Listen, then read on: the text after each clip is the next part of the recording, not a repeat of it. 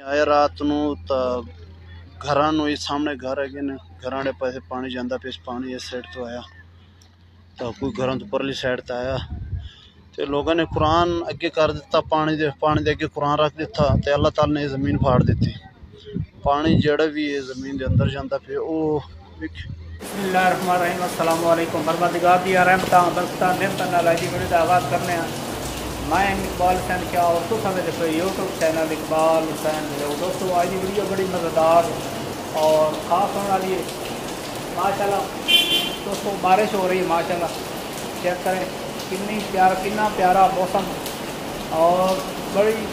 बहुत बड़ी तेज़ बारिश हो रही है। और थोड़ी थोड़ी हवा भी चल रही है नाल। मौसम बड़ा सुहाना हो गया, माशाल्लाह। और बैल गिला हो जाना। लेकिन मैं थोड़ा जिहा बाहर जाकर मैं तुम अपना माहौल चेक करा देना सी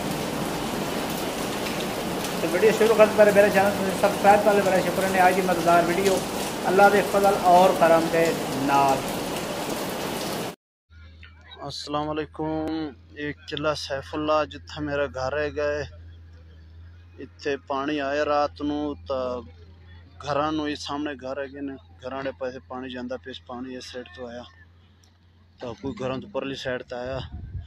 ਤੇ ਲੋਕਾਂ ਨੇ ਕੁਰਾਨ ਅੱਗੇ ਕਰ ਦਿੱਤਾ ਪਾਣੀ ਦੇ ਪਾਣੀ ਦੇ ਅੱਗੇ ਕੁਰਾਨ ਰੱਖ ਦਿੱਤਾ ਤੇ ਅੱਲਾਹ ਤਾਲਾ ਨੇ ਇਹ ਜ਼ਮੀਨ ਫਾੜ ਦਿੱਤੀ ਪਾਣੀ ਜਿਹੜਾ ਵੀ ਇਹ ਜ਼ਮੀਨ ਦੇ ਅੰਦਰ ਜਾਂਦਾ ਪਿਆ ਉਹ ਵੇਖ ਇਹ ਪਾਣੀ ਤੋਂ ਨਜ਼ਰਦਾ ਪਿਆ ਹੈ ਇਹ ਪਾਣੀ ਜ਼ਮੀਨ ਦੇ ਅੰਦਰ ਜਾਂਦਾ ਪਿਆ ਜਿਹੜਾ ਪਾਣੀ ਆਇਆ ਤਕਰੀਬਨ ਸਾਰਾ ਪਾਣੀ ਜ਼ਮੀਨ ਦੇ ਅੰਦਰ ਜ਼ਮ ਹੋ ਗਿਆ ਅੱਲਾਹ ਤਾਲਾ ਦਾ ਨਿਜ਼ਾਮ ਹੈ ਇਹ ਬਹੁਤ ਇਹ ਹੁਣ ਵੇਖਦੇ ਪੈਣ ਜ਼ਮੀਨ ਇਹਨਾਂ ਮਸ਼ੀਨ ਜਾਂਦੀ ਹੈ ਇਲਾਕੇ ਨੇ ਹੁਣ ਵੇਖਦੇ ਪੈਣ ਕਿ ਕਿੰਨਾ ਡੂੰਗਾ ਹੈ ਤਾਂ ਅਗਰ ਥੋੜਾ ਡੂੰਗਾ ਹੈ ਤਾਂ ਮੁੜ ਬਜਰੀ ਸੜਤੇ ਨਾ ਇਹ ਘਰਾਂ ਦੇ ਨਾਲ ਜਿਹੜੇ ਬੰਦ ਕਰਦੇ ਸਨ ਅਗਰ ਬਹੁਤ ਥੱਲੇ ਹੈਗੇ ਤਾਂ ਮੁੜ ਰਹਿਣ ਦੇਣਾ ਹੈ, ਲੇਕਿਨ ਉਹਨਾਂ ਨੇ ਬਸ ਕਰ ਦਿੱਤੀ ਕਿ ਬਹੁਤ ਥੱਲੇ ਇਹ ਦੇਖੋ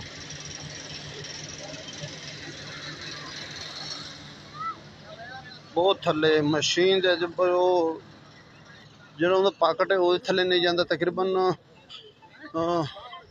ਸ਼ਮਾਲ ਜਨੂਬ 3-4 ਕਿਲੋਮੀਟਰ ਫੱਟੀ ਹੈ ਤਾਂ ਮੁੜ ਸ਼ਮਾਲ ਜਨੂਬ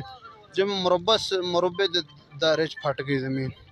ਬਸ ਉਹ ਘਰ ਸਾਰੇ ਬਚ ਗਏ ਨੇ, ਪਾਣੀ ਸਾਰਾ ਥੱਲੇ ਚਲਾ ਗਿਆ ਤੇ ਬਹੁਤ ਹੀ ਤਿੰਨ ਬਹੁਤ ਹੀ ਥੱਲੇ ਜ਼ਮੀਨ ਫੱਟੀ ਹੈ ਤਾਂ